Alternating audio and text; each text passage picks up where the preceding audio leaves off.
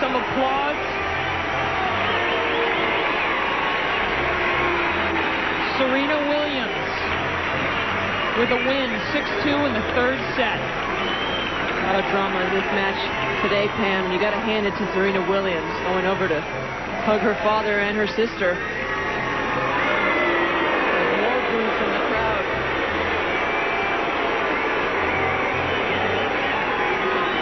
Venus saying Third something set to is Serena's down courtside. Serena, what a great competitive effort. But when you walked out on the court, you heard the boos throughout. How did how were you able to deal with that? And what did you think about it all? Yeah, uh, that was that was the best thing for me. I think it was just a mental match more than a physical match. I didn't even play well, so I just was able to perform mentally, and it was a little tough because I've won here before, and the reception wasn't so good. But you know, if you're a champion, you should be able to get through it. Well, you showed you were a champion. What a great competitor and fight you had. You were down a set and a break, a point from being down off 5-3 in that second set. Your serve seemed to help you out. Do you think that's what did it for you? Yeah, my serve definitely helped me out in the end, and I was just able to come through, so that was pretty exciting.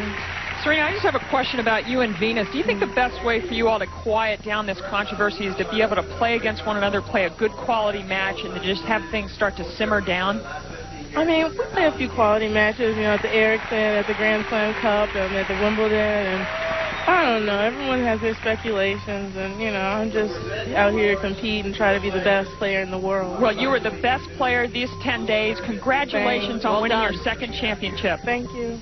Hey everyone, it's Serena, and as you may have heard, I'm returning to Indian Wells in a few weeks. Indian Wells holds a special place in my heart. It's where I won my first professional match, but it is also where I lost a piece of myself. For a long time, I just couldn't imagine revisiting one of the darkest moments of my career. Over the past few years, I've grown tremendously as a tennis player and even more importantly, as a human being. That's why I've decided to to Indian Wells. That's where my career took off, where Venus and I played our first big tournament together, and I no longer want to let an unfortunate single incident overshadow all the great memories that my family has created there.